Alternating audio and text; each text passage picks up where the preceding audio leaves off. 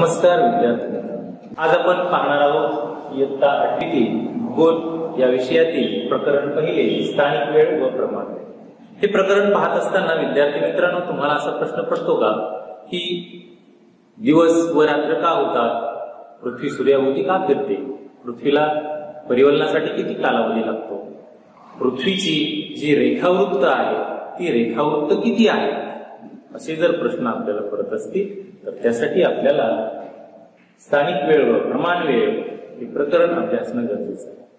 विद्यार्थी मित्रांनो कालमापनाचे अनेक प्रकार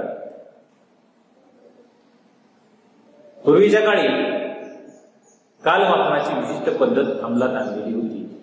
आजही कालमापनाची विविध साधनं उपलब्ध आहेत. चला तर मग आपण बघूया दिनमान म्हणजे काय. दिनमान म्हणजे सूर्य उगवल्यानंतर सूर्य मावळेपर्यंतचा कालावधी.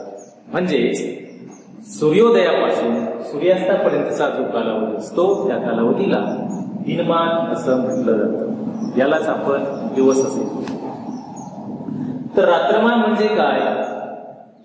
रात्रमान म्हणजे दिवस मावळल्यानंतर दिवस उगवेपर्यंतचा जो कालावधी आहे म्हणजेच सूर्यास्तापासून सूर्योदयापर्यंतचा जो कालावधी आहे त्या कालावधीला